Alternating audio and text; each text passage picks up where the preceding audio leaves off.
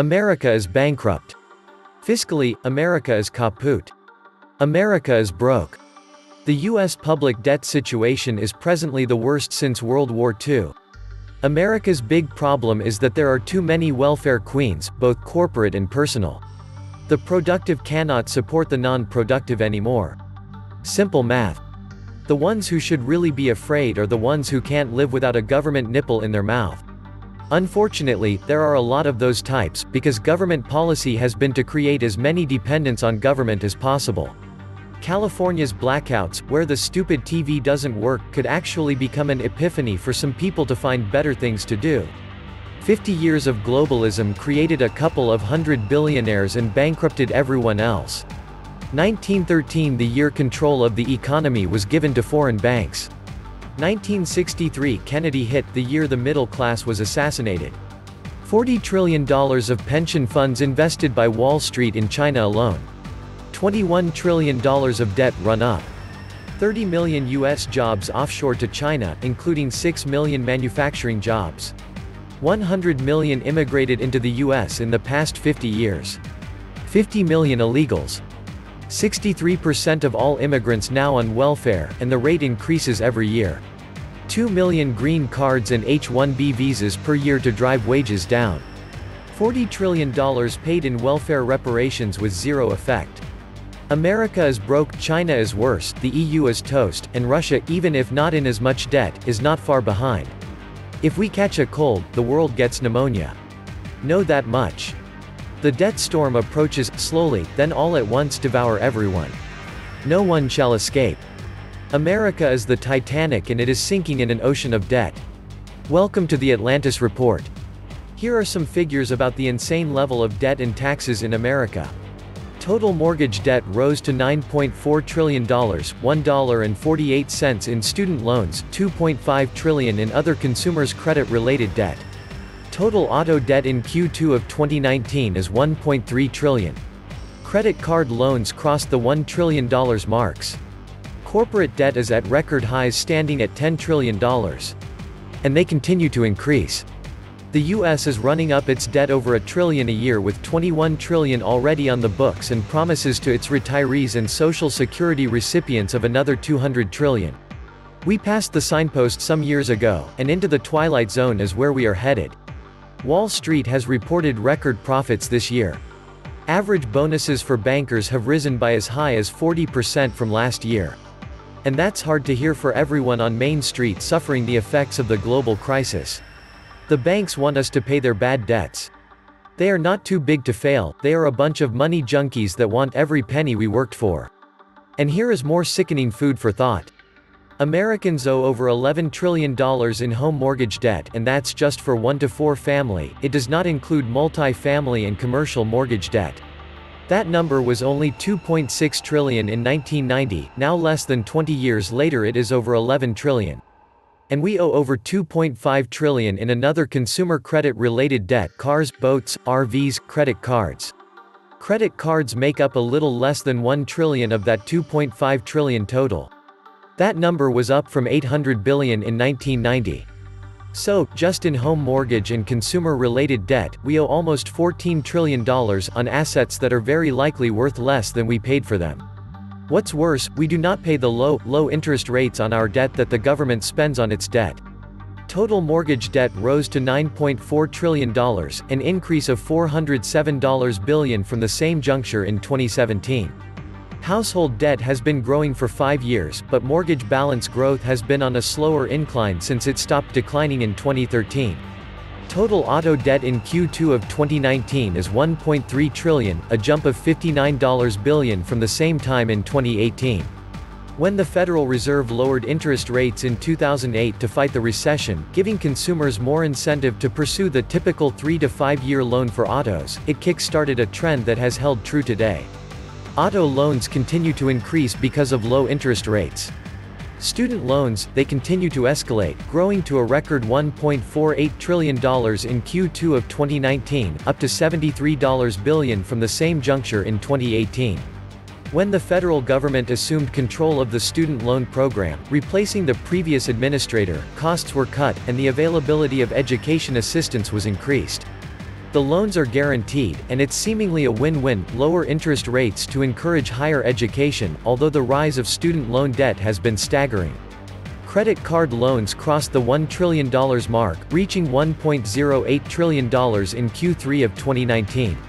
Credit card debt, considered revolving debt because it's meant to be paid off each month, is only 26.2% of the total liability after accounting for 38% of the total debt in 2008.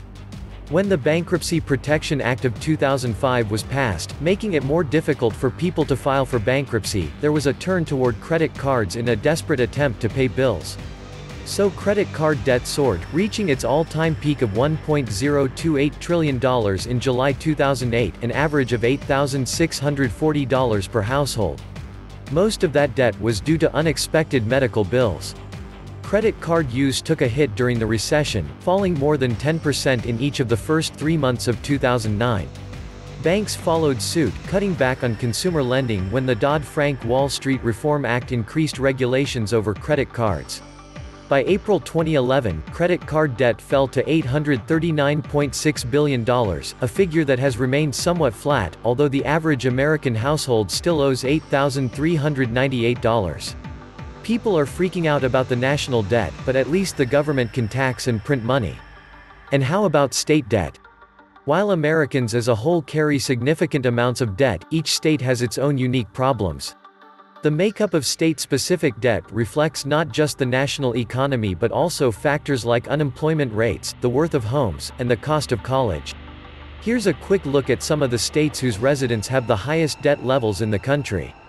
Credit policies long pursued by central bankers based on the Keynesian model of rising inflation have brought the United States to the brink of economic collapse.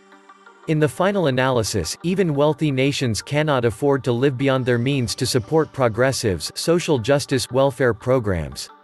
Nearly all the developed world is at the Keynesian endgame and the end of the dollar unless we find a wholly new source of national wealth. Globalization and free trade agreements have led to the outsourcing of well-paying jobs from the advanced nations and a boost to the growth of developing countries. Unless reversed, this trend will continue to the detriment and ultimate collapse of Western economies.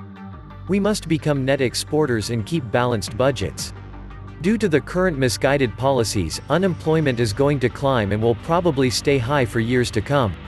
We need job-friendly, business-friendly, profit-friendly policies that lure jobs back to the US and keep people from going out of business and encourage people to start businesses. What they are proposing is just the opposite. Scary, scary stuff indeed. The power of finance was the power of debt.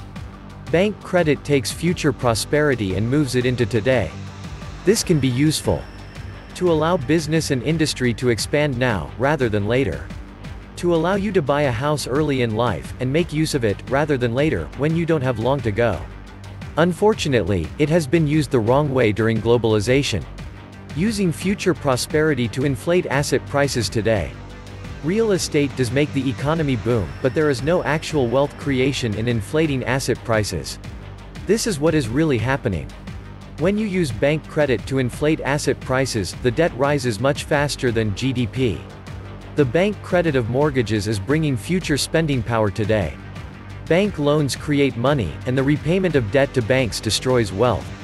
In the real estate boom, new money pours into the economy from mortgage lending, fueling a boom in the real economy, which feeds back into the real estate boom.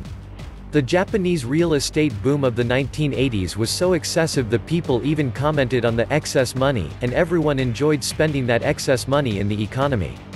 In the real estate bust, debt repayments to banks destroy money and push the economy towards debt deflation, a shrinking money supply. Japan has been like this for 30 years as they pay back the debts from their 1980s excesses, it's called a balance sheet recession. Using future spending power to inflate asset prices today is a mistake that comes from thinking inflating asset prices creates real wealth. GDP measures real wealth creation. Policymakers didn't realize bank credit impoverished the future as they thought banks were financial intermediaries, but this is not true. The central banks started revealing the truth in 2014, about 35 years too late. Before 2008, the bankers brought future prosperity today, and everything boomed. The claims on future prosperity built up, out of sight and out of mind. Once it became apparent, these claims on future prosperity could never be met. A financial black hole opened up that was ready to swallow the Western financial system whole. Banking should be so easy. Bankers get to create money out of nothing, through bank loans and get to charge interest on it. What could possibly go wrong? Bankers do need to ensure the vast majority of that money gets paid back, and this is where they keep falling flat on their faces. Banking requires prudent lending. If someone can't repay a loan, they need to repossess that asset and sell it to recoup that money. If they use bank loans to inflate asset prices, they get into a world of trouble when those asset prices collapse. Its nearly $14 trillion pyramids of super-leveraged toxic assets was built on the back of $1.4 trillion of U.S. subprime loans, and dispersed throughout the world all the president's bankers. When this little lot lost almost all its value overnight, the Western banking system became insolvent. Wall Street can turn a typical asset price bubble into something that will take out the global economy using leverage. I cannot stress the importance of knowledge, it outweighs temporary preps every time. It could be civil unrest, economic collapse, or world war, or all three at once. Think critically my friends, time is short. And since banks give me zero interest for my savings, I have zero interest in banks, and I keep all my cash away from any financial institution. I know by doing this, I'm halfway there in being prepared. This was the Atlantis Report. Please like, share, and subscribe. Thank you.